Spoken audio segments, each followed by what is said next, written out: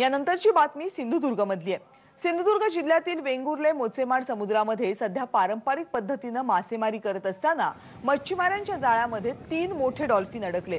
मच्छीमारांनी या डॉल्फिन्सना जाळ्याबाहेर काढलं सुखरूपपणे त्यांना समुद्रामध्ये सोडलं. डॉल्फिन पाहण्यासाठी ग्रामस्थांनी मात्र किनाऱ्यावर गर्दी केली होती. अगदी गेल्याच आठवड्यामध्ये मालवणच्या चिवला समुद्र किनाऱ्यावर असाच प्रकार पाहायला मिळाला होता.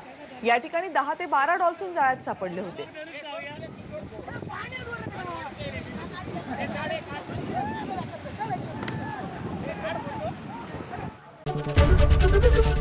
एबीपी माझा उघडा डोळे बघा नीट.